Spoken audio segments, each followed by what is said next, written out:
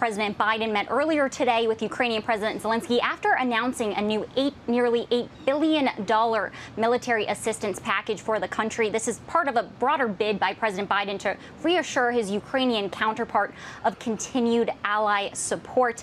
Earlier, Zelensky thanked him for that commitment and then went on to say that Ukraine is working hard towards its goal of NATO membership. We have a strong security agreement with United States, and we are grateful for it, and we will fully implement it.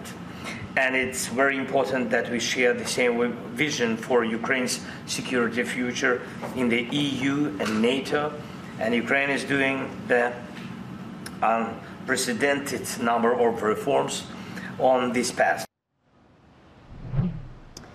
The new military aid package allocates about $5.5 billion for weapons from existing stockpiles. 2.4 billion is for what's known as the Ukraine Security Assistance Initiative, a Pentagon fund to buy new weapons from U U.S. companies. The White House says the shipments will include air defense systems, drones, and munitions. Biden also approved a new long range weapon and an additional Patriot battery. But there was no mention of Ukraine's request to launch U.S. made missiles deeper into Russia, which would essentially reverse a current U.S. policy. I actually had the chance to catch up with Democratic Senator Richard Blumenthal of Connecticut. He sits on the Senate Armed Services Committee, and he told me that he is urging the White House to grant that authorization.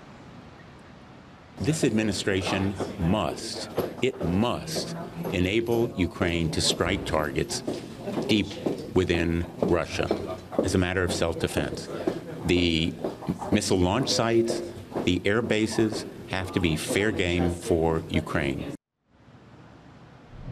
Since Russia's invasion, the Pentagon has poured nearly $5 billion into U.S. factories to boost munition production, like 155 millimeter shells, with an output goal of 100,000 per month by next year. It's part of a broader plan to revitalize the U.S. defense industrial base.